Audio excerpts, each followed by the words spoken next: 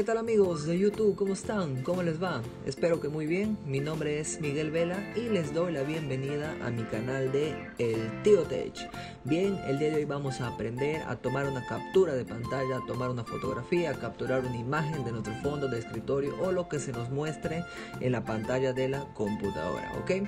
Vamos a hacerlo de tres maneras distintas para que ustedes lo puedan aplicar ya sea en un ordenador o sea en su, en su laptop, ¿no? Bien, este, lo que estamos viendo bueno, ahora es un, es un tecladito. Bien, acá les voy a indicar este, cuál, qué teclas tienen que este, presionar, ¿ok? Así que vamos a comenzar rápidamente con este tuto y nos vamos con el primer, este, el primer método, ¿ok? El primer método es lo siguiente. Vamos a apretar primero la tecla Windows. Voy a acercar esto, es el teclado.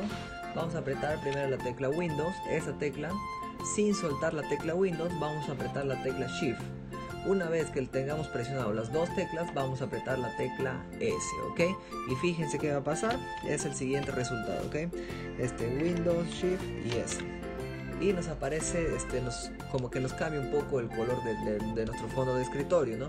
Y de esta manera podemos seleccionar la parte que ustedes quieran fotografiar o tomar imagen o captura, ¿ok? Simplemente seleccionan y sueltan y esto lo pueden pegar donde ustedes quieran, ¿ok? Por ejemplo, en Paint control V, ahí está, ese es el pedazo que acabamos de tomar. También lo pueden pegar en Word o lo pueden pegar en cualquier programa, ¿ok? Eso con que se pega con control V, ¿ok? Control V, ahí está. Control V es el siguiente, ¿no? A ver, vamos a retroceder esto por acá. Ahí está, voy a retroceder. Bien, control V control, después presionamos V, ¿ok? Es muy básico, pero para los que no saben, ¿no? Con eso pegamos. Bien, ya tenemos el primer método. Esto es para, para pegar este, cualquier retazo. Lo pueden aplicar también en, en páginas, en lo que ustedes quieran, ¿ok? El segundo método, que es el más conocido y bueno, el que yo siempre utilizo, es este, simplemente presionar esta tecla, ¿ok? La tecla, la tecla print. Esta tecla que ven acá, ¿ok? Eh, en algunas laptops o en otros teclados aparece como stamp, stamp o algo así. Pero en la mayoría aparece print, ¿no? Ahí está, screen. Print, print, screen, pero se, se, pronuncia, ¿ok? Por ejemplo, ah, vamos a tomar foto de esto, ¿ok? Apretamos print, eh, la tecla print y lo podemos pegar donde quieran, ¿ok? Lo podemos pegar aquí mismo, ¿ok? Ahí está, ¿se dan cuenta? Acabo de tomar a todo lo que está acá. O si no a mi escritorio también una tecla print apretamos una vez y lo pegamos por ejemplo acá voy a borrar esto voy a borrar esto bueno ahí está control V y ahí está todo mi escritorio ok como lo pueden ver.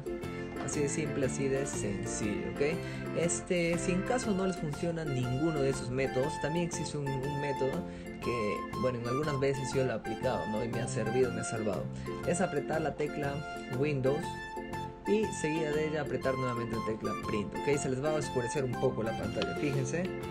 Aparece la siguiente se dan cuenta acá hay como un parpadeo.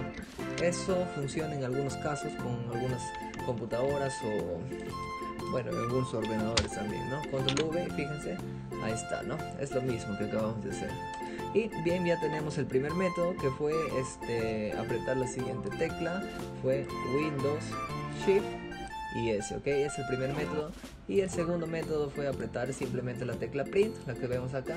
Y por tercer y último método fue este, a ver, fue apretar la tecla Windows seguida de la tecla print o expand que aparece en algunos teclados. Bien, este amigos, quiero aprovechar este vídeo para invitarles a visitar este canal.